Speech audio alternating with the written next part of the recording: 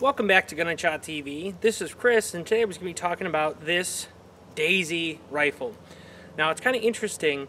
Uh, I've talked about boys rifles in a couple different videos. I've got a couple different Stevens ones, uh, Stevens Crackshot, a Stevens Springfield uh, Model 15. Um, and I, I really like single shot boys rifles. I think they're a neat, a neat type of gun. Something that's fun to shoot. Um, it kind of, it's a great way to train new shooters because they have to load each round. And I think it's a great way to go through a brick of ammo and kind of stretch out your time in a range. If you have a full day to blow, uh, I think a single shot's a, a lot of fun to shoot. So a lot of people know that Daisy did make uh, an air gun that was considered a rifle by the ATF. It was, I think, a VL something. And what it did is it had a powder charge. It was a caseless round with a lead bullet and like a compressed powder charge. And it worked just like an air rifle, but the charge of air was so strong there was so much pressure that it would cause the powder to combust and shoot the bullet out the barrel. Now, Daisy thought that was okay, but apparently the ATF did not. So there was some, some sort of a recall, an agreement not to sell them, something like that. Um, but later on, Daisy did in fact make two different actual 22 long rifle rifles. Um, there was one that's very similar to a Cricket. It was just a simple bolt action. And then there was this one. And this is actually called a Legacy by Daisy. Um, it is all plastic. Um, this is, you know, I think this is like a Zamak or an aluminum cast zinc um, action. And then it has a metal barrel liner, but the actual outside is all plastic. And it is a takedown. It came with a special tool that would go into this ring, and you could back the barrel out and take it into two pieces. Now, it's not really an effective takedown mechanism, and other than maybe taking it apart for cleaning, I wouldn't recommend it because I could see that getting loose or stripping out the action if you did it an awful lot. It also has some sling swivel mounts, and it has this button in the stock. Now, some people try and turn this. As you can see, this one's all chewed up, but uh, it's actually a push button. And if you push it, the stock will go out and telescope to adjust for different lengths of pull. Now, if you have it out and you turn it, you can pop it out and take the stock apart and get to the screw that holds the stock on the action. But you do not have to turn it to adjust the length of pull, so that's why this one's chewed up, as a previous owner must have been confused about what that did. Now, it does have a red dot on it, and the reason for that is I bought it without the rear sight. It would have had a V-notch sight, like an express rifle sight, um, similar to like a safari gun would have had. But uh, of course it was missing. A lot of people took them off and put scopes on these guns and lost the original sight. It's a plastic sight. Uh, it fits on this really narrow notch. I'm hoping that I can find a sight for it.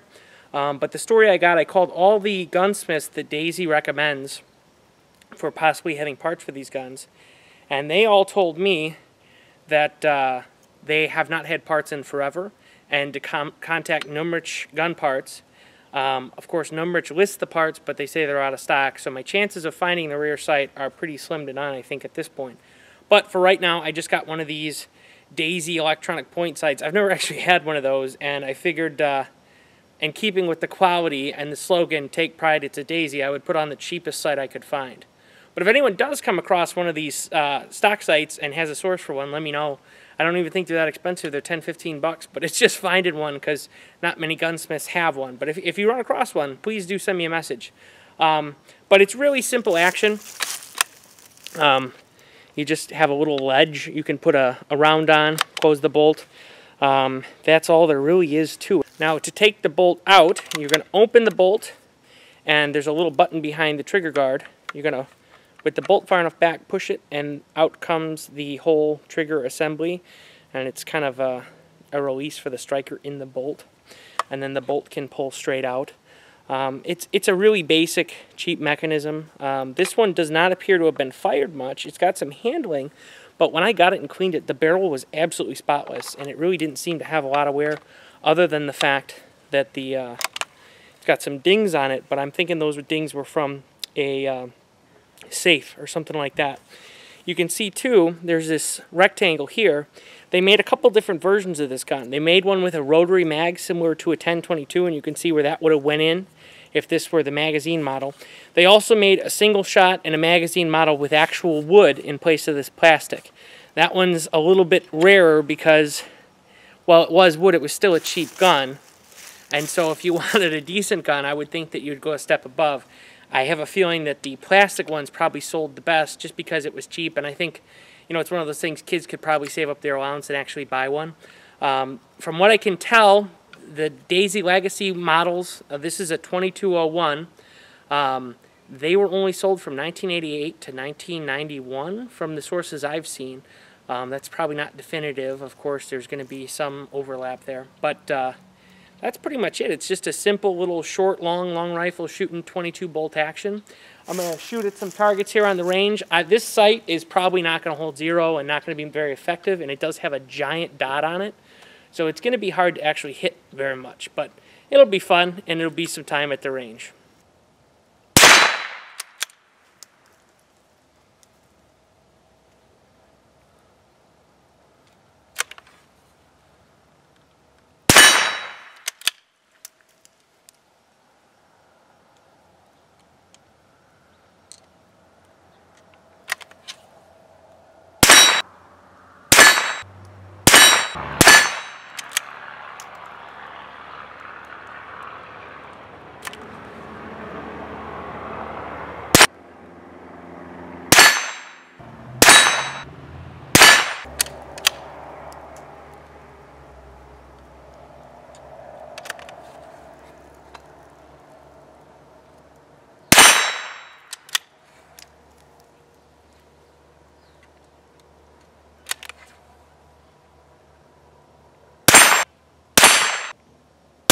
See if I can hit my steel spinners here. It's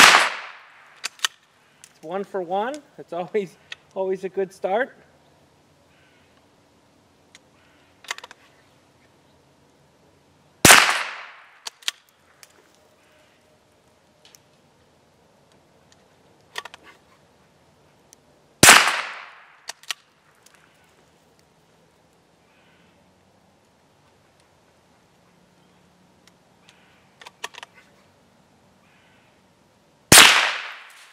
I missed one.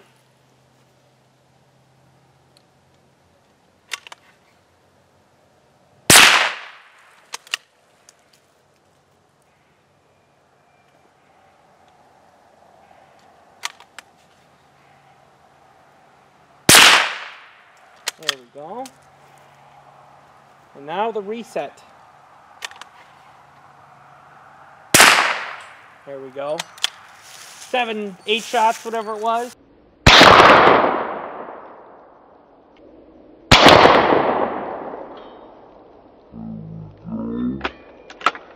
And now we'll throw a few rounds at that uh, big pumpkin. Probably won't do much because I'm shooting 22 long rifle, but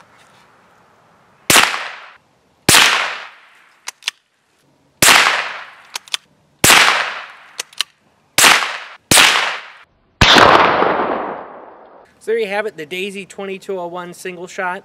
Um, not the most refined gun. Uh, definitely not, uh, not not what I would call like an heirloom gun. I have a feeling that this plastic is going to get brittle and fall apart over time. But definitely unique and something you don't see every day.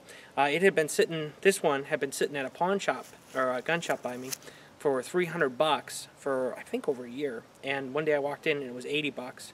So I jumped on it. Uh, if you could find one for about 100 bucks, especially if it's got the sight, uh, the sight seems to be worth almost as much as the gun.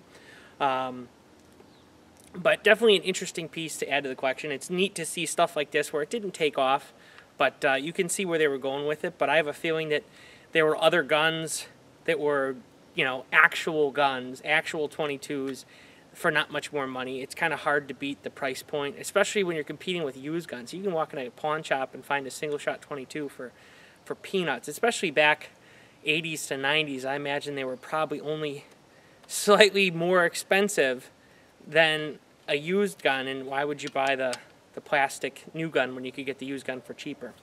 But uh, I hope you liked learning about this. And I, I kind of made a joke saying take pride it's a Daisy. But like I said, I, I think it's a neat gun. I kind of went cheap on the sight. But uh, hopefully somebody uh, stumbles across one of those rear sights or maybe one from a Remington 700 I can get set on there and, and, and get back to the actual express sight setup.